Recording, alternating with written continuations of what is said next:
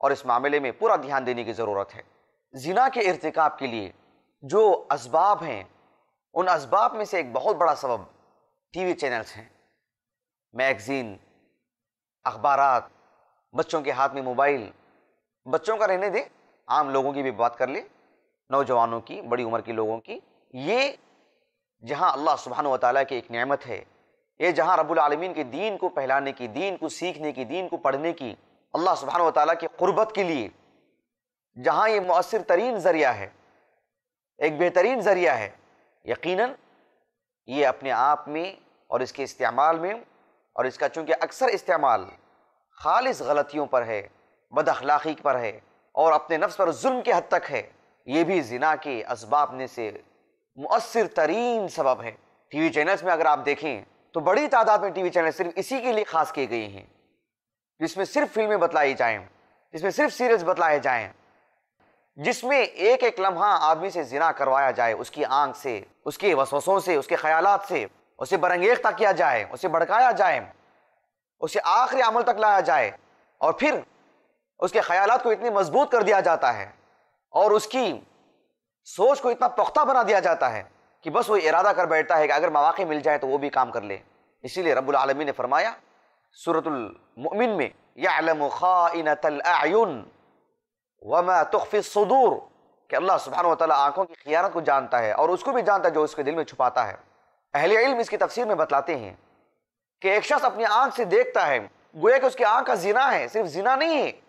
ہم نے دو باتیں آپ کے سامنے رکھی ایک یہ ہے کہ جب زنا کہتے ہیں تو وہ ہے جو آخری درجے کا عمل ہے، لیکن ایک وہ بھی زنا ہے جو صرف آنکھ کی حد تک رہتا ہے۔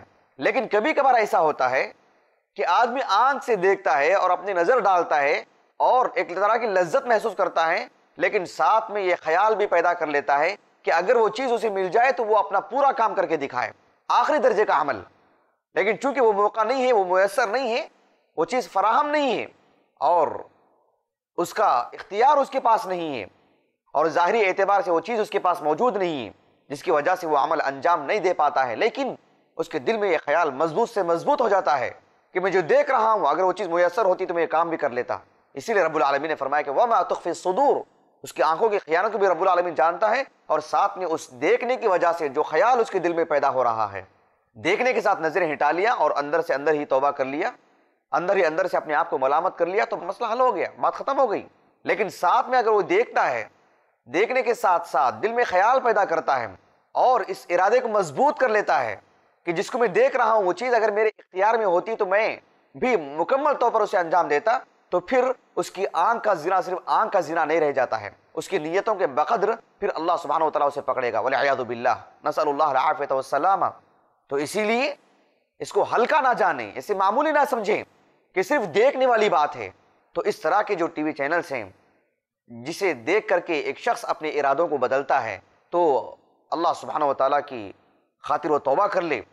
اللہ کی وہ پناہ میں آئے اور اللہ سے توفیق مانگے گناہوں سے باز آ جائے اس لیے کہ اس طرح کا دیکھنا صرف دیکھنا نہیں رہ جاتا ہے، بلکہ دیکھنے کے ساتھ ساتھ اس کے دل کے خیالات کا بڑا گہرا تعلق اس سے ہو جاتا ہے۔ اور پھر اسی کے بقدر اللہ سبحانہ و تعالیٰ کے ہاں اس کے لیے پکڑنے، گرفت کرنے اور اسے سزا والی بات اسی پر مرتب ہوتی ہے۔ ناظرین اکرام، ہمارے اس دور میں جو تسہیلات کا جو معاملہ ہے، آسانیاں جو آتی جا رہی ہیں، آج کل ایسا معاملہ نہیں ہے۔ کہ آدمی ایک مخصوص جگہ میں جا کر کے بیٹھے اور ٹیلی ویژن آن کر لیں، بلکہ مواقع بہت ہیں۔ وہ بآسانی تنے تنہا اکیلے میں اپنے موبائل کے ذریعے سے پوری دنیا کی سیر کر سکتا ہے، پوری دنیا کے مناظر دیکھ سکتا ہے۔ وہ ہر طرح کے مناظر دیکھ سکتا ہے، ہر طرح کی جگہوں کا معائنہ کر سکتا ہے، کئی لوگوں سے اپنے تعلقات رکھ سکتا ہے، بات چیت کر سکتا ہے، اور صرف وہ اکیلا جانتا ہے اور وہ جس کے ساتھ اس کا رابطہ ہے۔ تیسرے آدمی کو اس کا تعلق بھی نہیں رہے گا، کسی کو پتا بھی نہیں چلے گا۔ البتہ اللہ سبحانہ و تعالیٰ کے علم میں یہ بات ہے او لیس اللہ بأعلم بما فی صدور العالمین؟ الا يعلم من خلق؟ وهو اللطیف الخبیر۔ وَلَقَدْ خَلَقْنَا الْإِنسَانَ وَنَعْلَمُ مَا تُوَسْوِسُ بِهِ نَفْسُهُ۔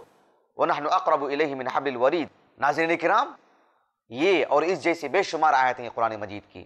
جس میں اللہ سبحانہ و تعالیٰ کے بارے میں ہمیں علم نہیں ہونے کی وجہ سے یہ معاملہ ہلکے سے ہلکا ہوتا جا رہا ہے، جبکہ یہ آیتیں ہمیں سبق دے رہی ہیں، یہ ہمیں بتلا رہی ہیں۔ کہ اللہ سبحانہ و تعالیٰ ہمارے دلوں کے وسوسوں کو جانتا ہے۔